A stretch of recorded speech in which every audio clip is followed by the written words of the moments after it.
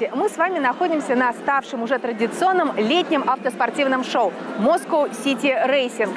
Всего на два дня прилегающие к древнему московскому Кремлю улицы и набережные превращаются в настоящую гоночную трассу.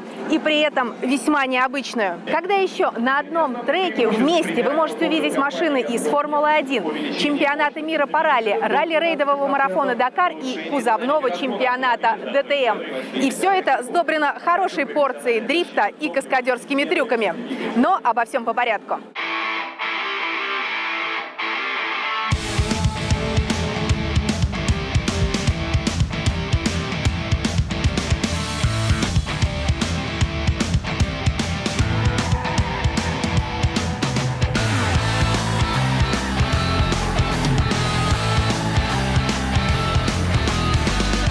Moscow City Racing проводится уже в шестой раз, и с каждым годом увеличивается количество приглашенных звезд из мира автоспорта.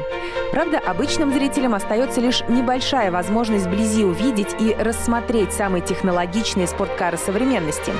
Да и продемонстрировать всю свою мощь, показать, насколько быстры машины и как виртуозно гонщики владеют мастерством пилотирования в рамках данного фестиваля практически невозможно.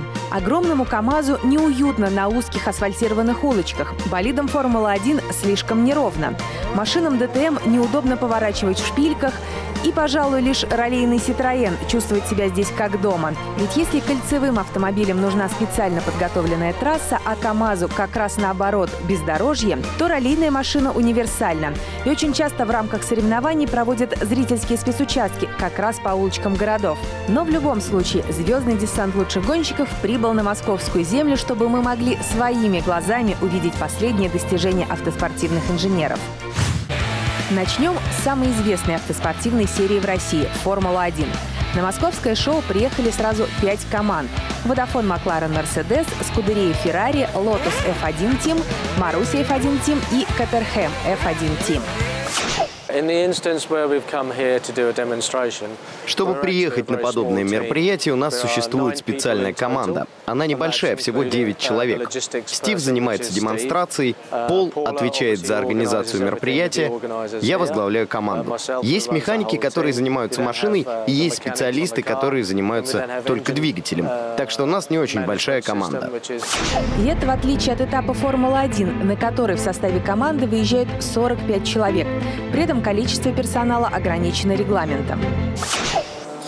Запуск и прогрев двигателя болида Формула-1 занимает 45 минут. И делается это совсем не так, как в обычной машине. Если в гражданскую машину мы садимся, запускаем двигатель, ждем, когда прогреются все технические жидкости, и после этого можно ехать, то здесь все происходит с точностью наоборот. Сначала воду и моторное масло прогревают до 60 градусов, и лишь когда технические жидкости нагреются, можно запускать мотор.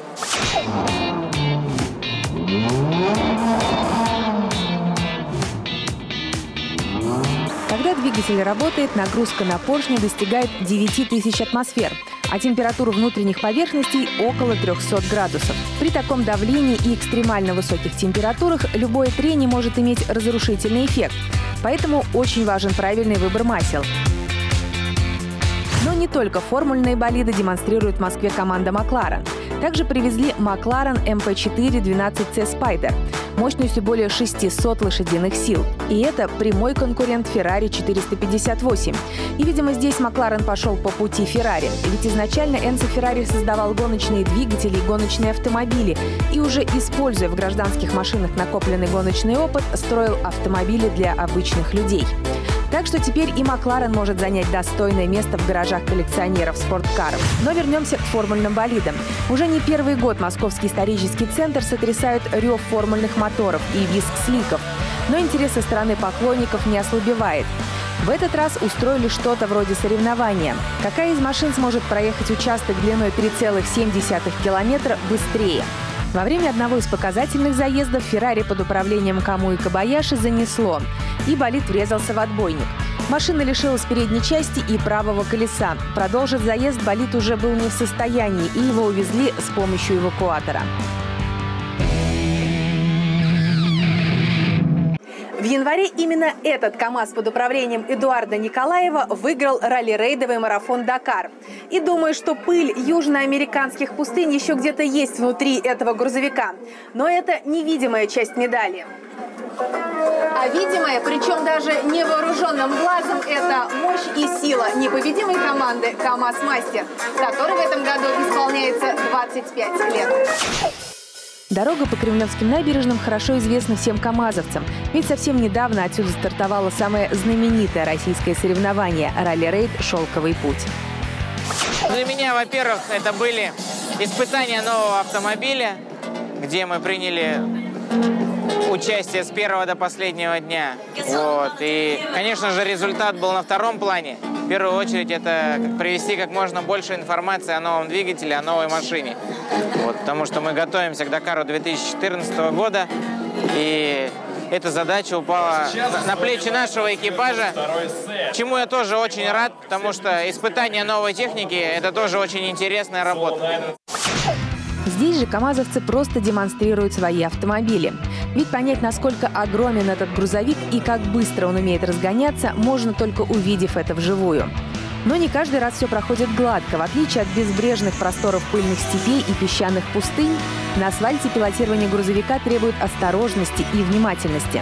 Мокрый и скользкий асфальт сделал свое коварное дело, и не сумев вовремя затормозить и повернуть, КАМАЗ протаранил бетонные блоки. Никто не пострадал. Да и КАМАЗ, в отличие от «Формулы», оказался гораздо более железным и смог самостоятельно уехать в падок. Для продвижения кузовного чемпионата ДТМ в нашей стране все три команды Audi, BMW и Mercedes, участники этой серии, приехали в Москву и привезли свои машины. Ведь впервые этап ДТМ проходит на самом современном в России автодроме Moscow Raceway. Это серия чемпионат немецких производителей, и стать пилотом команды, просто имея необходимый бюджет, невозможно, в отличие от той же Формулы-1. Представлять Mercedes приехал бывший пилот ДТМ и бывший пилот Формулы-1 Ральф Шумахер. А вот пилотировать в один из дней был специально приглашен Виталий Петров.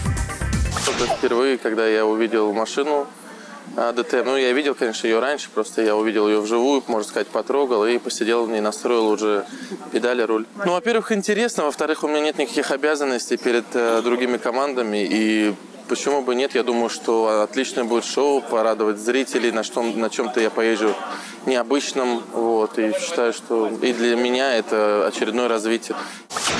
Но несмотря на желание организаторов ДТМ получить в одну из команд Виталия Петрова в качестве пилота, сам россиянин пока не торопится давать свое согласие и пока сосредотачивает свои усилия на возвращении в Формулу-1.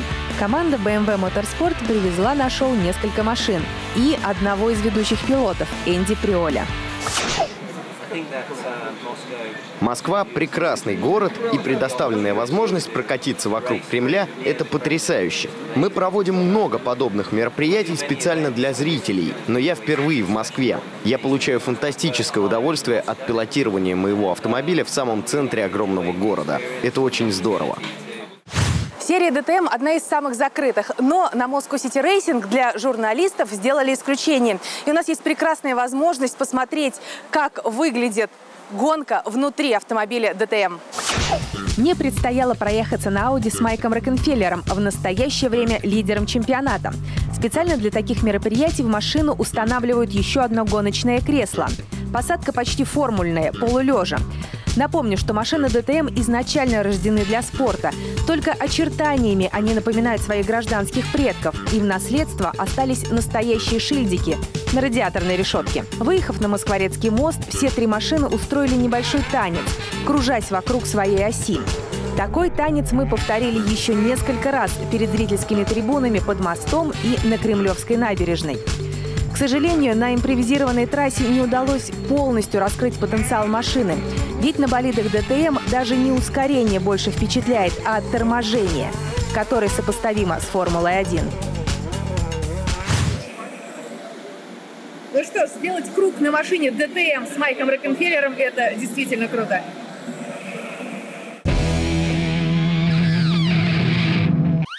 А теперь настало время прокатиться по Кремлевской и Болотной набережной на Citroёn DS3 WRC. Этот автомобиль стартовал на многих этапах чемпионата мира по ралли. А сегодня за рулем пилот заводской команды Citroёn Дани Сорда. Мне как профессиональному штурману интересно не просто прокатить здание Сорда на Ситроене заводской подготовки по улице Москвы, но и попробовать прочитать специально написанную стенограмму. Спецучасток называется Moscow City Racing. Попробуем. Вместе с раллийной машиной на демонстрационный заезд выезжает и свита. Три гражданских Citroёна премиальной серии DS. DS3, DS4 и DS5. Под мой отсчет мы стартуем, я начинаю читать стенограмму, но Показательный заезд предполагает, что не только я должна получить удовольствие от автомобиля, но и тысячи собравшихся зрителей. Поэтому Дани резко тормозит, три гражданских Ситроена выстраиваются на трассе, и пилот начинает исполнять дрифтовые восьмерки вокруг машин. Во время нашего демонстрационного заезда я смогла почувствовать, как быстро и как четко машина тормозит, и как легко на ней проходить широкие шпильки в управляемом заносе. Ну и, конечно, Дани старался продемонстрировать свое мастерство. Трасса уже просохла, Дани не в первый раз выезжает за сегодняшний день, и чтобы ему самому тоже поразвлечься, начинает снимать весь процесс на свой мобильный телефон. И ничего страшного, что не получилось со стенограммой. Зато мы смогли увидеть, насколько виртуозно пилот владеет машиной. Как и предполагалось, именно Ситроена на московских улицах было максимально комфортно. На месте организаторов я бы еще добавила искусственный трамплин, ведь именно прыжки, поражающие своей высотой и протяженностью, один из наиболее зрелищных элементов раллийных соревнований. Э, э, нам не так часто приходится участвовать в таких мероприятиях, но нам приятно и весело так поразвлекаться. Но, конечно, я предпочитаю гоняться на раллийных трассах.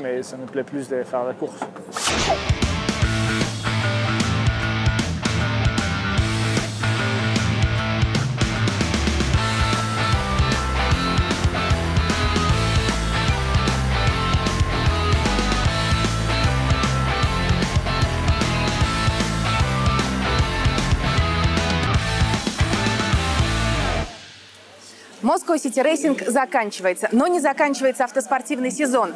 Гонщики возвращаются домой, команды в свои спортивные боксы, чтобы вскоре вновь выйти на трассы, при этом каждый на свою трассу, и радовать нас интересной и красивой борьбой за победу.